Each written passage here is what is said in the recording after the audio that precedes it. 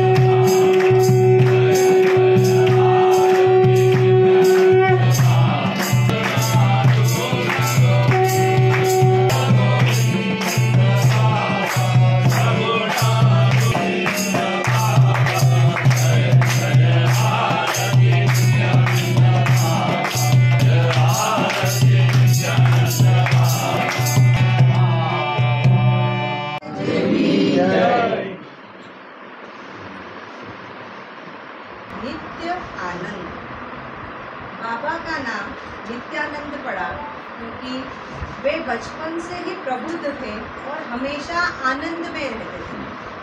हालाँकि उनके पालक माता पिता ने उनका नाम राम रखा, कोई उन्हें रमन भी कहता था। लेकिन ईश्वर चंद जी जो थे, वो जिनके साथ वो रहे, उनके पालक माता पिता की मृत्यु के बाद उन्होंने देखा कि नित्यानंद हमें मतलब गुरु जी हमेशा आनंद में रहते हैं, इसलिए उन्होंने उनका नित्यानंद नाम दिया। वे आश्रम से यहाँ के डॉक्टर के द्वारा पर्ची लिख के दी जाती है कि वह, या यहाँ पर आकर जो सैंपल अगर कोई देता है तो उनका जाँच करवाने में उनको जो जाँच दर है, उसमें 40 प्रतिशत की छूट दी जाएगी। तो आप सभी इस सेवा का लाभ लेवें। ऐसी इच्छा। और उसके अलावा आप सभी जानते हैं कि हर वर्ष 8 सितंबर को गुरुजी श्री गुरुचरण जी मोगा जी का जन्म दिवस होता है। हम सभी वो भी उसे आनंदपूर्वक मनाते हैं। और उसी दिन सुबह 10 बजे से 1 बजे तक के लिए स्वास्थ्य शिविर का आयोजन किया गया है। स्वास्थ्य परीक्षण शिविर का, जिसमें आँख, नाक कना गला, कान, दांत, कैंसर की चिकित्सा और न्यूरोलॉजिस्ट ये सभी आने वाले हैं। ब्लड की रक्त का परीक्षण भी किया जाएगा और उसका समय रहेगा सुबह दस बजे से एक बजे तक। तो और उसके पश्चात हमेशा की तरह रुद्राभिषेक और आरती, पूजन गिरि- गीता का पाठ, ये सभी का आयोजन भी किया गया है, जिसकी समय सारिणी आप सभी को यथापूर्व समय पर पहुँचा दी जाएगी। अब मैं एक बार फिर बाबा के चरणों में नमन करते हुए गुरुजी से आग्रह करती हूँ कि वे अपने आशीर्वचनों से हमें आलादित करें। योगिनाथं श्रीगुरुदेवम् ॐ नमो नित्यानन्दम् ॐ नमो नित्यानन्दम्। अरविन्दयुगलौ ध्यायन् सदा वैददी वादेन्द्रप्रतिभापनो घनकला सम्यक् समासादिता जिनेन्द्रे जगदीश्वरे च विमला प्रीतिर्बुत्सुस्थिरा पूज्य श्रीविजयेन्द्रसूरिगुरवे कूर्मः प्रणामाञ्जलि कूर्मः प्रणामाञ्जलि आज बाबा का समाधि दिवस के लिए आप हम सभी एकत्रित हुए हैं।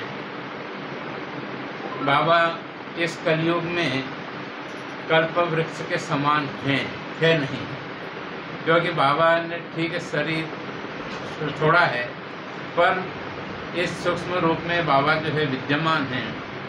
बाबा के पास आज भी जिसने कुछ आध्यात्मिकता मांगी उसे आध्यात्मिक उन्नति प्रदान करते हैं बाबा, जिसने भौतिकवादिता मांगी, उसे भौतिकवादिता देते हैं।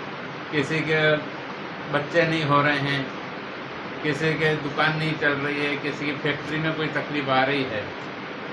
तो ऐसा बाबा के पास जो भी आता है, वह जो है उसकी मनोकामनाएँ पूरी होती है। एक बार जब बाबा मौजूद थे तो गोपाल मामा और सभी जो गोपाल मामा से सभी परिचित हैं, जो पुराने लोग हैं। बैठे हुए थे, बाबा मस्ती में बैठे हुए थे तो एक व्यक्ति आया, उसने बोला, बाबा, मेरा बच्चा नहीं हो रहा है। तो बाबा बोले, चलो ठीक है, हो जाएगा तेरा। तो फिर गोपाल मस्ती में थे बाबा।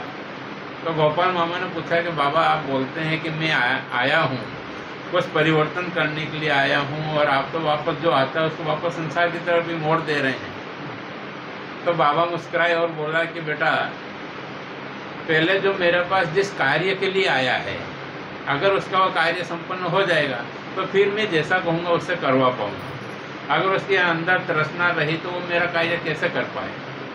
इसी प्रकार से एक कर्नाटक में जब बाबा विचरण कर रहे थे तो एक आदिवासी महिला के जो है जो दूध की नली होती है, उसके अंदर विष बह रहा था। तो तीन बच्चे उनके होकर जो है गुजर गए। दो दिन, तीन दिन में, चार दिन में वो बच्चे जो है गुजर जा रहे थे। तो बाबा वहाँ से निकल रहे थे तो जैसे ही बाबा का वो जो महिला थी उसके सामने हो तो उन्होंने स्तन पे जो है एक ऐसा क्या बोलते थप्पड़ तो नहीं कह सकते सर झटकार दिया कह सकते हैं। झटकार दिया तो एक आदिवासी महिला और मतलब इस प्रकार से इनमें छुआछूत का ये सब जो है बहुत ज़्यादा विचार रहता है। तो जैसे बाबा ने ऐसा किया, ऐसे ही जो है वो महिला अपने घर गए, पति से बोला और जो आसपास में पाँच पच्चीस व्यक्ति को इकट्ठा कर लिया बोला कि भाई मेरे साथ ऐसा किया तो सभी कोई लकड़ी तीर से भाले, वाले मारने के हिसाब से जो है सब लेके आ गए। आदिवासी लोगों में ज़्यादा वो होता नहीं। है वो लेके आ गए और बाबा जो है ऊपर पेड़ पर जाकर बैठ गए। तो जैसे वो आते देखे तो उन्होंने खांसा ताकि उन लोगों को पता चले कि बाबा यहाँ पर बैठे हुए हैं। तो खांसने के बाद वो सब लोग आए और गन नीचे उतरो मारेंगे तो फिर मैंने किया क्या? तो तुमने इस महिला को इस प्रकार से छुआ। तो मैंने छुआ ये बात बराबर है। पर सुनो मेरी बात, इतना नहीं सब तो कोई सुना नहीं। और हर जगह जहाँ पचासों मूर्ख होंगे और दो चार सुज्ञ पुरुष भी होंगे। और जहाँ पचासों सुज्ञ पुरुष में दो चार दस मूर्ख लोग भी होंगे। तो एक ने बोला कि यार ठीक है, अपने को मारना है। या जो भी कार्य करना है। अपन दस मिनट बात कर ले, इस व्यक्ति की बात को सुन लो। क्या कह रहा है? तो ठीक है भाई, सभी ने बोला, ठीक है, इनकी बात सुन लेते, क्यों इन्होंने किया ऐसा? तो जब उन्होंने बोला कि भाई, आपके तीन बच्चे अभी तक हुए और तीनों गुजर गए तो एक सभी को आश्चर्यकारी हुआ भाई, इन बाबा को कहाँ से पता चला? तो यहाँ सब ऐसा तो हुआ, दो दिन, तीन दिन में, चार दिन में गुजर गए। तो आज के बाद तुम्हारे बच्चे गुजरेंगे। क्योंकि इस महिला, बच्ची के जो है, विष आ रहा था दूध के अंदर। इस कारण बच्चे जो है, मर जा रहे थे। तो आज के बाद जो है, आपके बच्चे जीवित रहेंगे। तो फिर बाबा सभी को लगा क्योंकि आश्चर्यकारी बात थी कि तीन बच्चे हुए, किसी को नहीं पता था।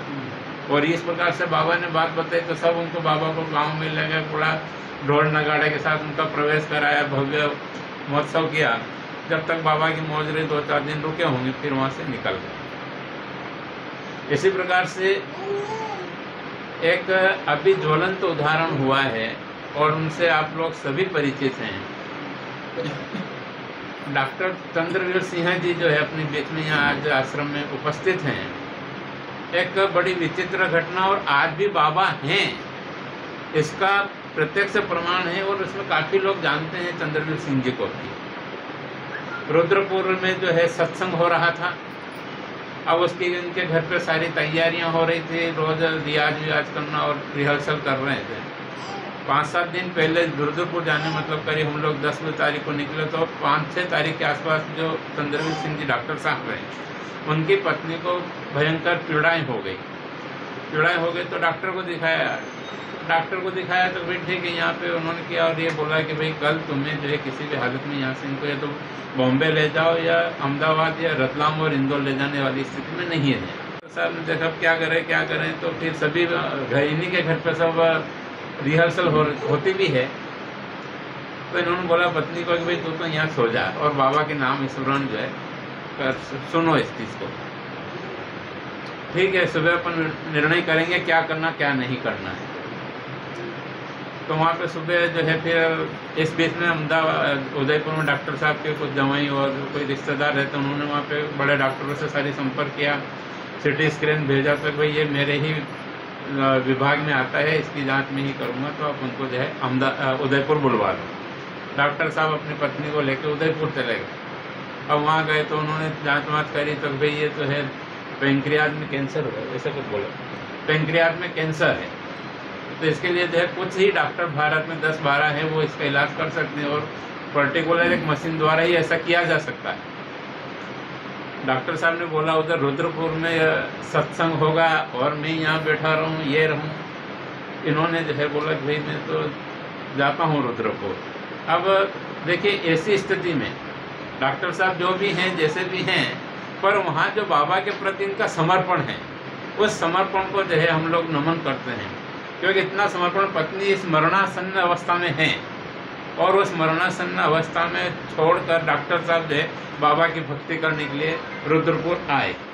और पत्नी को भी नमस्कार करना चाहिए अपन कि। ऐसी स्थिति में बाबा के प्रति उनका भी उतना ही समर्पण है।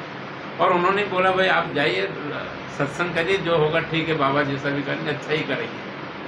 डॉक्टर साहब वहाँ से रतलाम आ गए रतलाम से हम लोग साथ में जो है, रुद्रपुर गए।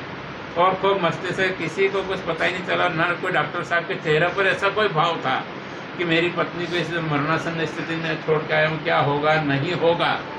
पूरी भक्ति भाव से तल्लीन होकर इन्होंने सत्संग किया।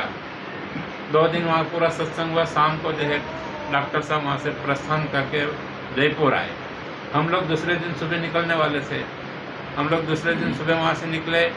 दिल्ली होते हुए, जयपुर होते हुए हमें जो है, इंदौर आना था। तो डॉक्टर साहब उदयपुर से माता जी को जयपुर रेफर किया। आठ डॉक्टरों की टीम लगी हुई है। सारे डॉक्टरों ने कैंसर घोषित कर दिया कि भाई पेंक्रियाज में कैंसर है वो इस प्रकार से इलाज होगा तो बड़े जो जयपुर के बड़े डॉक्टर हैं, उन्होंने सब मतलब एक सात आठ डॉक्टरों का पैनल बना हुआ। उन सबने करने के बाद भी डॉक्टर साहब वहाँ से जयपुर आ गए। हम लोग जयपुर और हम शाम के टाइम में जहाँ पे भी रहता हूँ, और जब से पिछली बार यहाँ सत्संग हुआ तब से। गुरु गीता का पाठ जो है हम लोग, जो भी साथ में होते सभी करते हैं। तो हम गुरु गीता का प्रारंभ करने ही वाले थे और जयपुर के अंदर खड़े थे गाड़ी हमारी। और जयपुर में डॉक्टर साहब भी थे, बाकी नो इनको पता था कि हम जयपुर में है, क्या है, क्या नहीं, और उन्होंने डॉक्टर साहब का मेरे पास फ़ोन आया। अब डॉक्टर साहब का जब फ़ोन आया तो मुझे ये नहीं पता क्यों मेरे मुँह से बोला, बधाई हो। अब मरणासन स्थिति, डॉक्टर ने पेंक्रियाज में कैंसर बता दिया, पर मेरे मुँह से निकला बधाई हो। तो डॉक्टर साहब बोले, बधाई मतलब हर व्यक्ति को सोचने में आता है ना कि बधाई कैसे दे दिए थे। म- मरणासन स्थिति में। इन्होंने बोला, क्यों? उनका, ठीक है। ये करके फिर दो पाँच मिनट बात करी महेंद्र जी शर्मा जी से बात करी, और सभी चिंतित थे माता जी के प्रति, क्योंकि सभी माता जी जो है, अपने बच्चा मतलब पुत्र पुत्रवत सभी के साथ उनका स्नेह रहता है। तो वो करने के बाद हम लोग पूरी जोरी गीता करी और निकल गए।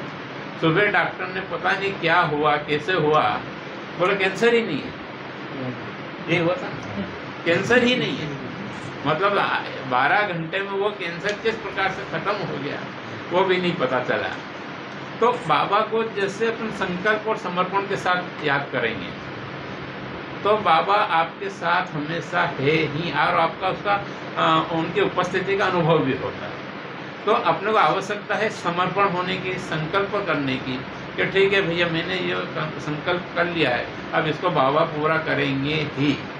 और ऐसे भी बहुत से व्यक्ति हैं अपने नितिन जी भटनागर रेणु भटनागर हैं।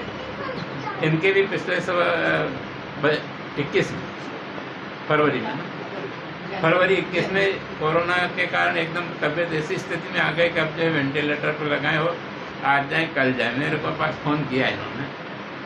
मैंने फ़ोन किया तो मैंने बाबा से प्रार्थना करने बैठा तो बाबा ने मेरे को एक दृश्य दिखाया कि मैं इनके घर पर टेबल पे बैठा हुआ और ये जो मसाला डोसा बना तो मुझे जो खिला रही है। मैं निश्चिंत हो गया। मैंने कहा कुछ नहीं हो सकता है।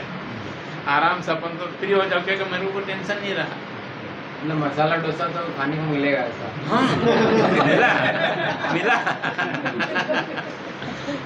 इसी प्रकार से मतलब हर व्यक्ति के साथ किसी के न किसी के साथ कुछ न कुछ दुर्घटनाएँ, संजय जी कटारिया हैं, उनका भी अभी कैंसर ठीक हुआ है। पूरा डिक्लियर मतलब क्लियर हो गया, जाँच वाँच सारी करवा ली और जो है क्लियर हो चुका उनका भी कैंसर। तो बाबा की कृपा से जो भी बाबा के प्रति समर्पित हुए हैं उस समर्पणता के साथ साथ आपके जैसे जैसे आपका समर्पण आता जाएगा, आपका अहंकार जो है विस्मृत होता जाएगा ऐसे ऐसे बाबा आपके हृदय में ही जो है विराजित हो जाएँगे। फिर आप वही कार्य करेंगे जो बाबा चाह रहे हैं, और आपकी चाह वही होगी जो बाबा पूरी करेंगे। तो इस समय पे आश्रम का सौभाग्य है कि डॉक्टर साहब यहाँ विद्यमान हैं। तो मैं अपने ट्रस्ट के अध्यक्ष नितिन जी भटनागर से निवेदन करूँगा कि बाबा को आशीर्वाद स्वरूप जो है, साल और श्रीफल से डॉक्टर साहब का स्वागत करें। बाबा का आशीर्वाद। बाबा डॉक्टर के साथ अपने अंदर आ जाएगी। उस दिन कोई चीज़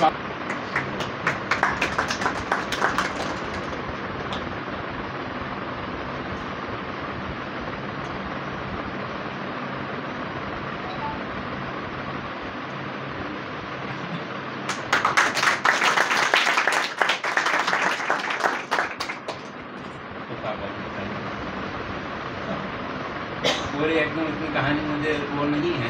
बाकी हाँ इतना हुआ कि मुझे वहाँ तक पता चला कि आठ दिन बाद मतलब आठ डॉक्टरों के पैनल ने जो आठ दिन से इनको कैंसर घोषित करते रहे माता जी को, वो कैंसर खत्म हो गया बारह घंटे के अंदर।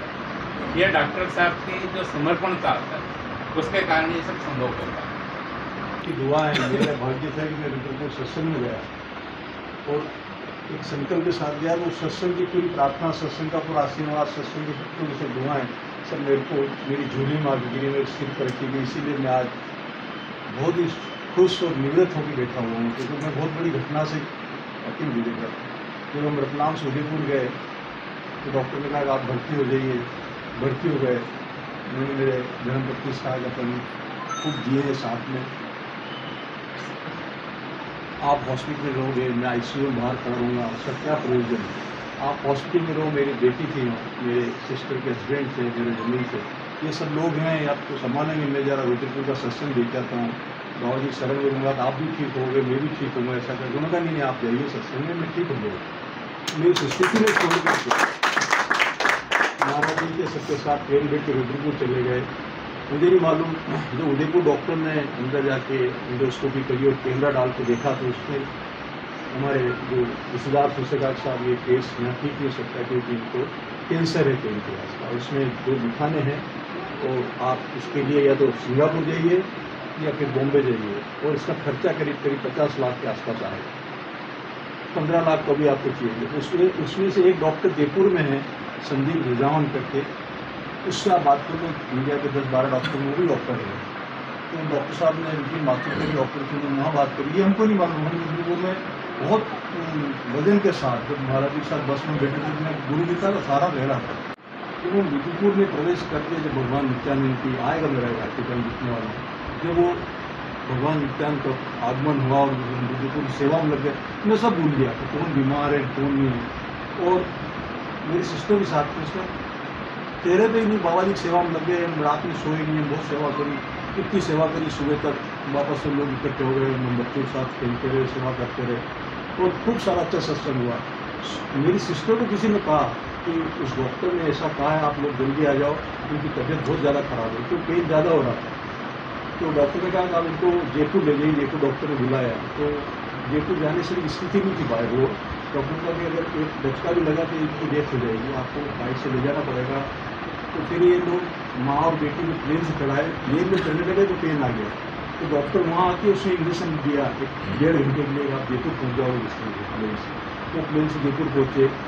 ये सब चीज़ मेरे सिस्टर को वहाँ रुद्रपुर मालूम। उसने कहा कि आपको इनको कैसे कहे तो इनको ध्यान ही नहीं दे रहे कि वहाँ पत्नी अस्पताल में है, क्या है, और मैं सेवा में था बाबा जी की।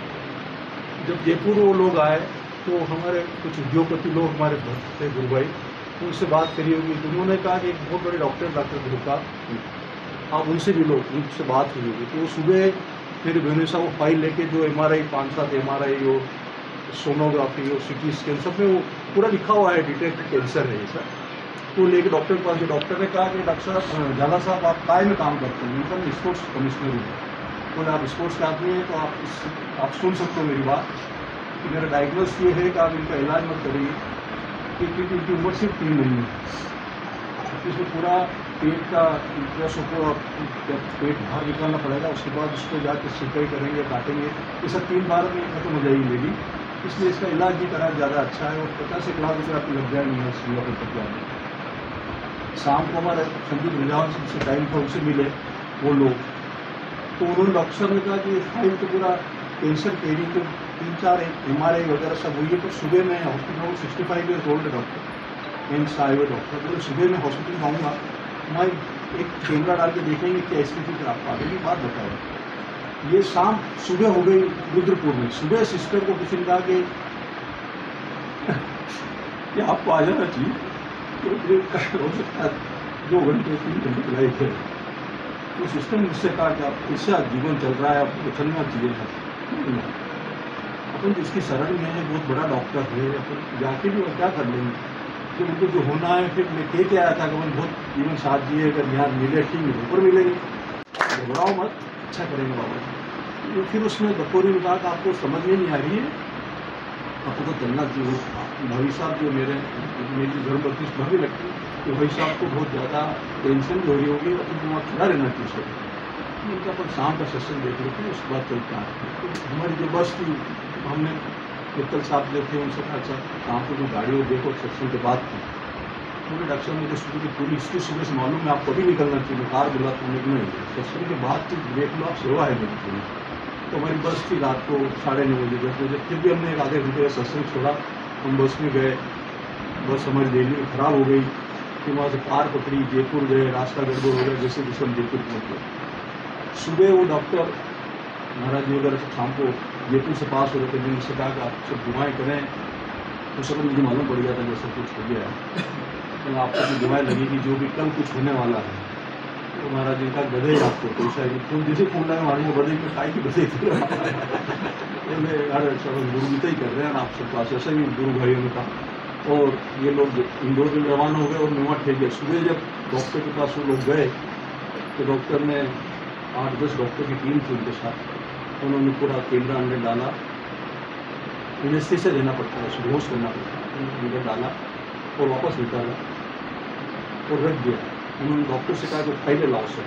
वो सब फाइलें मंगाई पूरी एम आई देखी उन्होंने क्या लिखा मतलब सब कैंसर है और रेट्स फ़ोटो है उसके, दिखान के जो भी है उसको।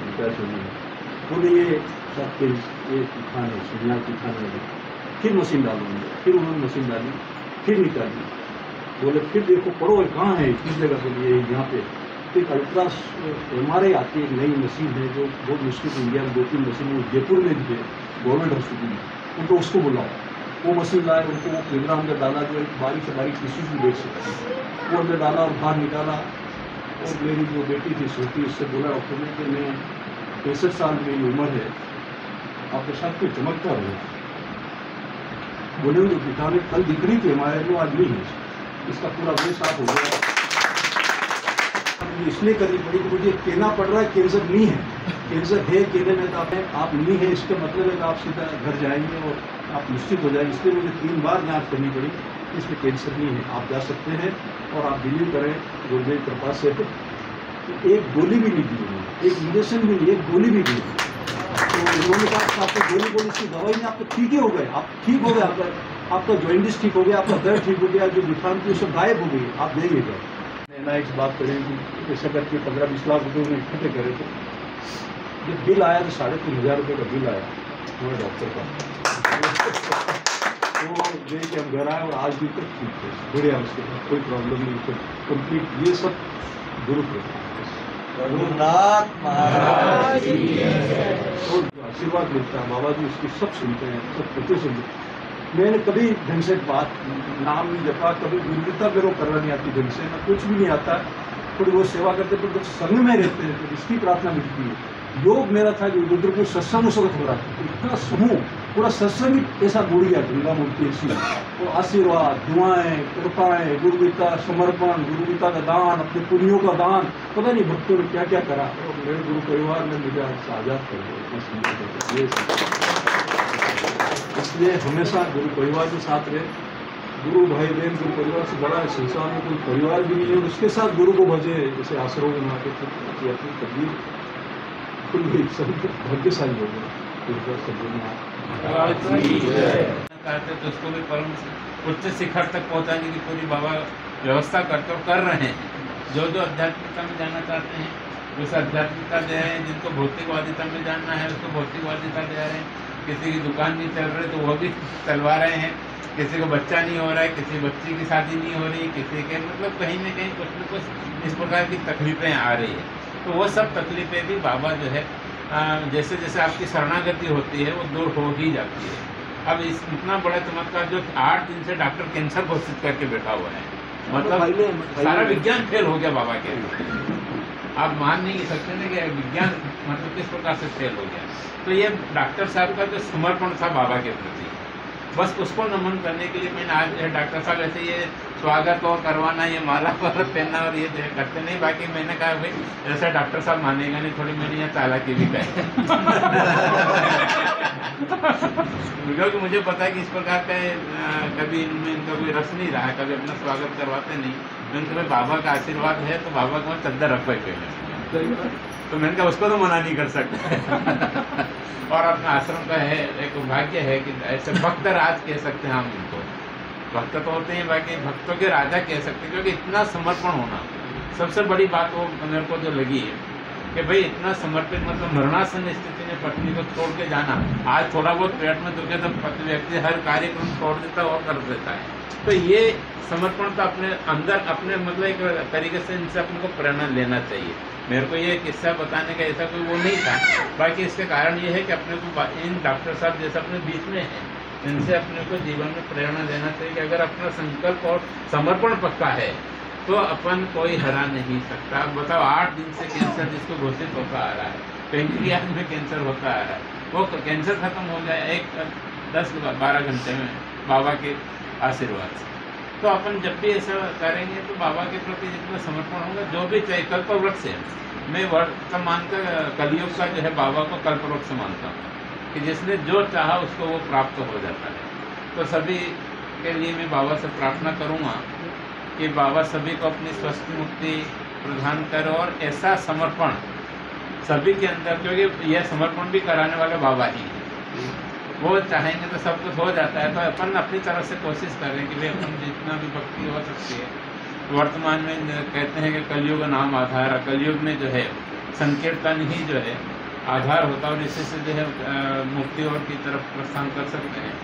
समय पर इस प्रकार से बाबा का कीर्तन कल रात को भी जो है, बाबा की समाधि के उपलक्ष्य में बारह घंटे का जो अपना सिद्धपीठ है वहाँ पर, उसका भी बहुत सुंदर आयोजन हम लोग दो तीन बार वहाँ गया था मैं कल रात को। और बहुत सुंदर लगा वहाँ पर। और इसी प्रकार से इसी सब चीज़ों को देखते हुए अभी शशांक से बात भी नहीं करी किसी से बात भी नहीं करी पर मैं घोषणा कर दे रहा हूँ कि आठ चार फरवरी। को 12 घंटे का यहाँ पर रखेंगे डॉक्टर साहब ने और उनकी टीम ने भी आने की स्वीकृति दे दी। चैन सिंह जी के वहाँ से भी कुछ लोग आ जाएँगे। तो 12 घंटे का जो है सत्संग और फिर दूसरे दिन रविवार है। तो रविवार को भी पाँच बजे से लेकर आठ, नौ बजे तक सत्संग करेंगे। समय बहुत अच्छा जमघट जमेगा। तो सभी के मुक्ति की कामना करने के साथ ही साथ ओम शांति।